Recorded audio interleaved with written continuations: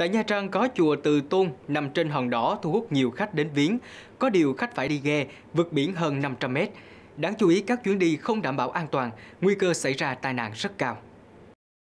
Do chùa Từ Tôn tọa lạc trên hòn đỏ, nằm ngay giữa biển, nên khách phải vượt biển mới sang được chùa cúng giếng. Chùa Từ Tôn đã tổ chức một chiếc ghe có gắn động cơ đưa đón miễn phí cho khách. Tuy nhiên, khi chở khách vượt biển sang chùa, cũng như từ chùa trở về bờ, khách lại không mặc áo phao cứu hộ. Vùng biển nơi đây thường có sóng to gió lớn, khiến chiếc ghe luôn bị trồng tranh, lắc lư giữa biển. Việc đưa đón, chở khách đi chùa không đảm bảo an toàn như trên đã gây bất an đối với khách, cũng như gây thoát tim cho những ai nhìn thấy. Những năm qua, dù đã được ngành chức năng tuyên truyền, buộc các phương tiện giao thông đường thủy, nhất là các phương tiện chở khách, phải tuân thủ nghiêm ngặt những quy định về an toàn giao thông đường thủy, như buộc khách phải mặc áo phao khi vượt biển. Nhưng một số ít ghe tàu chở khách đã không chấp hành nghiêm.